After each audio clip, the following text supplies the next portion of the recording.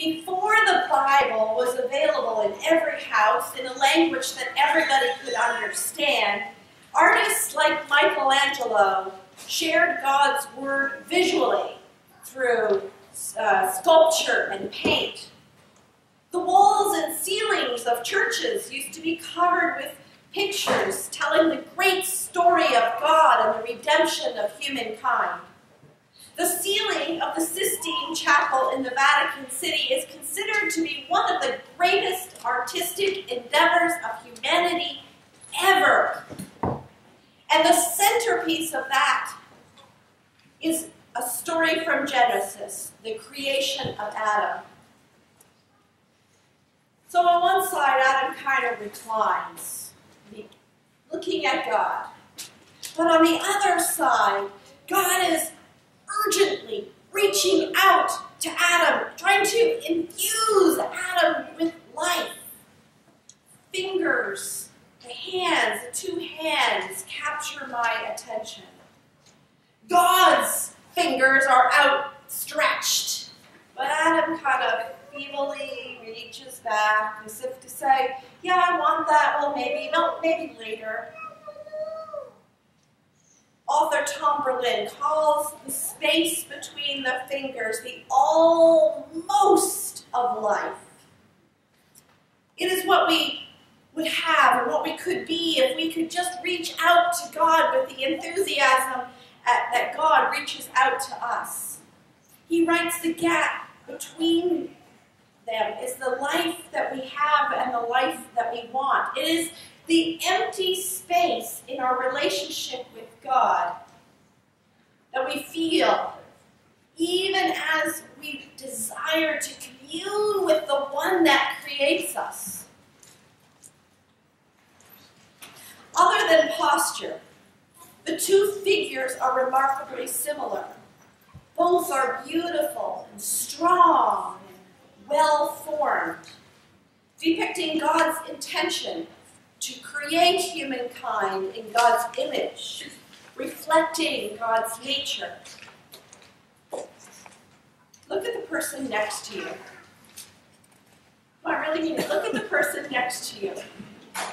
The spirit of our Creator is stamped into each and every one of you, into each and every one of us. Not that we are God, but we are made in the image of God. We are children of God. God's goodness is part of our identity. When we stand to pass the peace on a Sunday morning, it's a reminder that God's goodness is in us and we're just so full of joy that we want to hug and shake hands. Then at other times, when we look at our neighbors, we miss seeing that goodness entirely. Because people are a mess. You and I are a mess. I don't think there's one person here today or one person listening that has everything in their life together. And those that appear to have it all together, they have inner turmoil that they keep to themselves. Now, granted, some of us are a mess not because of anything that we did. We, we don't control cancer. We can't stop a hurricane from ruining our homes. But others, others have created their own mess. Maxed out credit cards with high interest rates. People who have a really hard time being on time, they're always running to work, and so the speeding tickets are piling up.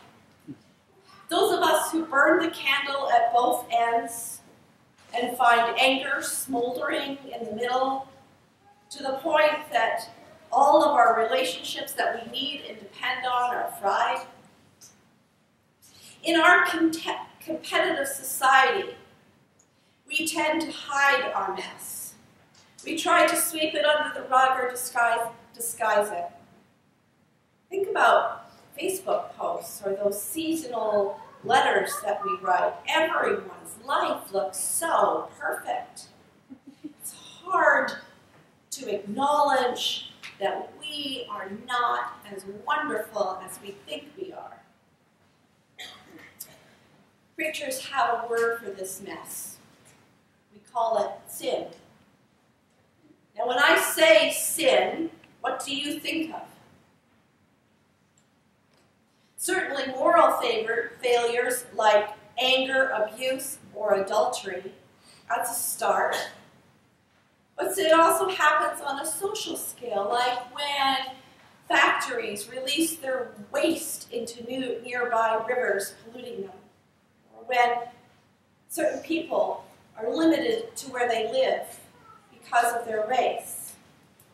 And then there are sins of omission, sins that are caused by inaction, like when we spend our time filming an assault instead of using that phone to call for help, or when we simply step over someone who really needs assistance.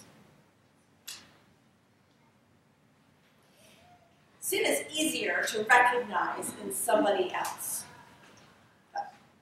Picture this. Two little girls jumping on a couch. You know how much fun that is? And what does mom say? Stop jumping. It's not good for the couch. And furthermore, you're going to fall off and hurt yourself. And so those kids obey. They get off the couch, they're playing on the floor with their toys, but you know how hard it is to resist. And before you know it, they're both jumping up and down on that couch again. And as they are doing that, springing up and down and up and down, the one looks at the other, points, and says, Mommy, look what she's doing. it's easier to call out and see faults in others. In the late 80s, the frescoes of the Sistine Chapel were restored. 500 years of candle smoke, humidity, uh, dust, pollution, the grime of, of thousands of people visiting the Sistine Chapel every week had muted the colors. In fact, there was so much grime on those pictures, they, they were almost monochrome. The Vatican exhibits showing the before and after photos of the restoration are astonishing, and it makes you truly appreciate the gentle work required to restore the splendor colors of those original images. Our sin is like a thick layer of grime that covers and dulls the image of God's goodness that's within each of us. It's hard to hold on to these two truths. First, that we are created in God's image. That means that we are greater masterpieces than any art that Michelangelo left on the ceiling of the Sistine Chapel.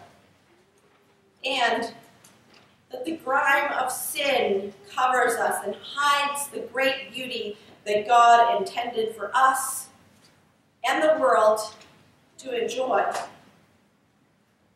Now, some people struggle to believe that any of God's goodness is inside of them because they've just been so hurt by life that their self worth is pretty much non existent. And other people struggle to believe that they need change.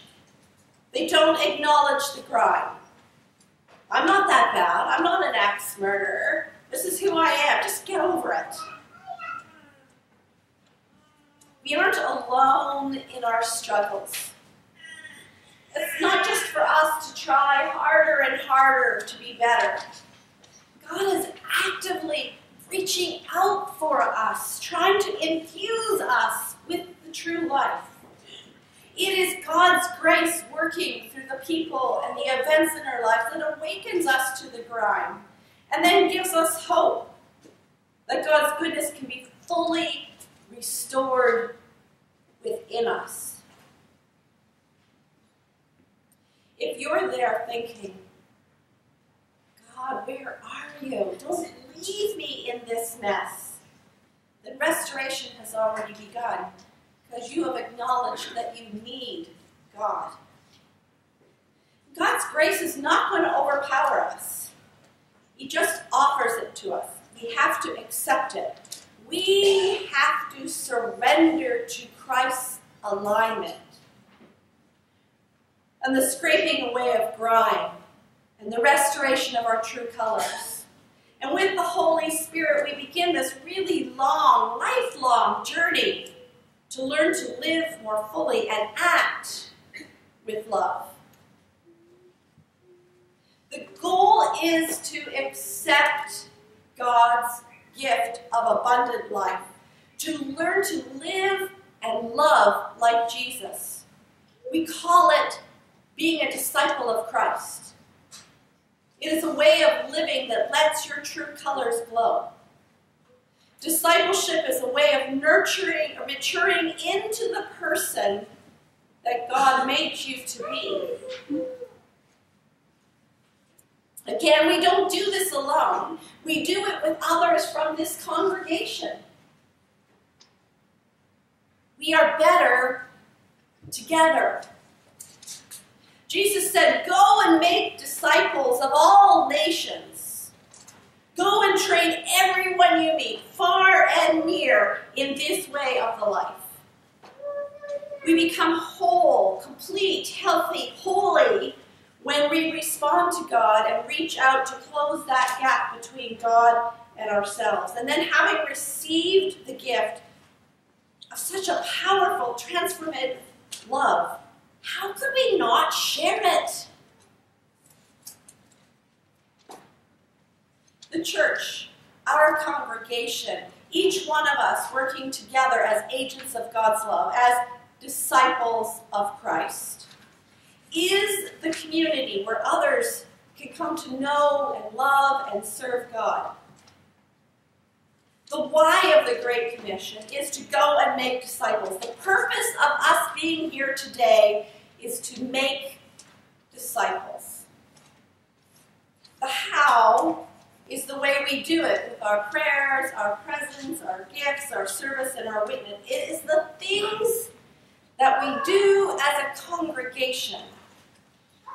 Some of us show God's love through prayer. You know, we pray for the newborn babies that came into this world on Friday, and we pray.